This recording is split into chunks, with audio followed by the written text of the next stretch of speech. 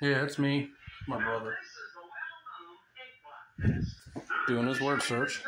There's my mom.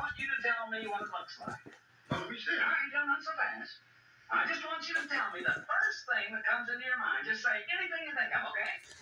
That's my mom ready? watching Andy Griffith. Uh,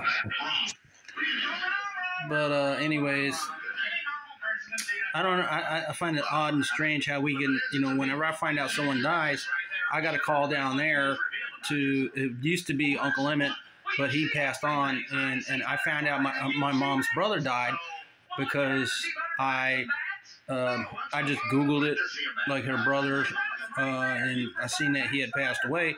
That was how I found out. Okay.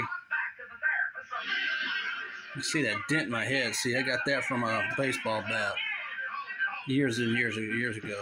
But um, going anyway, Yeah. I don't understand that. So uh, they don't call us. I don't, I don't understand. Something I, I'm even questioning why go out there and live on that land, you know, and fix it all up and everything. Why not just turn around and sell it? I mean, I'm just, I'm not saying that's what we're gonna do. I'm not saying anything uh, right now. I'm just kind of up in the air about a lot of stuff, you know. Why? How come they can't reach out and, touch and, and, and call me, or you know, um, uh, and talk to us?